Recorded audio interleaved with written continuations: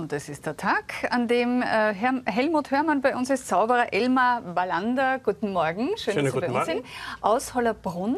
Konfuzius hat schon gesagt, es ist besser, ein Licht anzuzünden, als über die Dunkelheit zu klagen. Okay. Ja, bringen wir Licht ins Dunkel, das war ja heute auch schon das Thema. Bringen wir Licht ins Dunkel.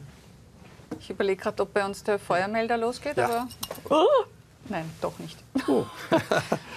Zeit ist Wow. kostbar, das ist doch das schönste Geschenk. Zeit zum Reden, Zeit zum Zuhören, Zeit zum Lachen und Zeit füreinander.